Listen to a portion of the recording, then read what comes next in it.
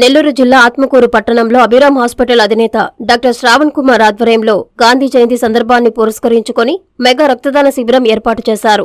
ఈ సందర్భంగా డాక్టర్ శ్రావణ్ కుమార్ మాట్లాడుతూ రెడ్ క్రాస్ సొసైటీ వారి సహకారంతో అభిరామ్ హాస్పిటల్ ప్రారంభించినప్పటి నుంచి సుమారు పదమూడు సంవత్సరాలుగా పద్దెనిమిది రక్తదాన శిబిరాలను ఏర్పాటు చేశామన్నారు. మెట్ట ప్రాంత ప్రజలకు ఉపయోగకరంగా ఆపదలో ఉన్న వారి ప్రాణాలను రక్షించాలన్న ఆలోచనతో ప్రతి సంవత్సరం స్నేహితులు వివిధ సంఘాల నాయకులు ప్రజల సహకారంతో మెగా రక్తదాన శిబిరం నిర్వహిస్తున్నట్లు చెప్పారు. రాబో రోజుల్లో కూడా కొనసాగిస్తామని డాక్టర్ శ్రావణ్ కుమార్ తెలిపారు. మెగా రక్తదాన శిబిరానికి Atmakur DSP Kotareddy CI Venu SI Mutyalarao ముఖ్య అతిథులుగా హాజరు కాగా స్వచ్ఛంద సంస్థ నిర్వాహకులు వాగాల శ్రీహరి శ్రీనివాస స్కూల్ అధినేత సురేష్ బాబు అభిరామ్ హాస్పిటల్ సిబ్బంది తదితరులు పాల్గొన్నారు.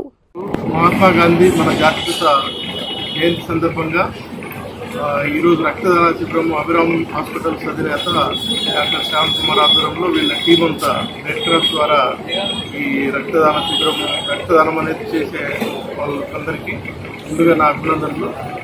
ఈరోజు ఎంతో పవిత్రమైన దినం కాబట్టి ఈరోజు రక్తం వాళ్ళు దానం చేసిన వల్ల చాలా మంది ప్రాణాలు కూడా కాపాడటం జరుగుతుంది ఇది రెడ్ క్రాస్ వాళ్ళు ఎప్పటి నుంచో నిర్వహిస్తున్న కార్యక్రమం.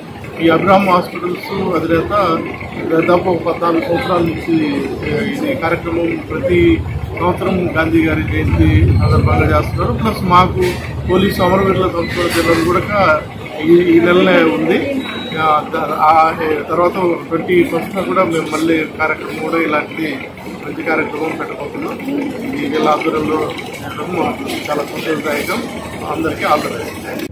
జాతిపిత మహాత్మా గాంధీ గారికి జయంతి సందర్ సందర్భంగా గత రెండు వేల పన్నెండు నుంచి ఎంతోమంది ఎన్జిఓస్ శ్రీహరి గారిని చాలామంది ఆత్మకూరు పట్టణ ప్రముఖులు ప్రోత్సహించి ఈ కార్యక్రమం చాలా అవసరమని తెలియజేయడంతో రెండు వేల పన్నెండు ప్రారంభించాం. అప్పటి నుంచి దాదాపు పద్దెనిమిది బ్లడ్ డొనేషన్ క్యాంప్స్ హాస్పిటల్ తరఫున చేయడం జరిగింది.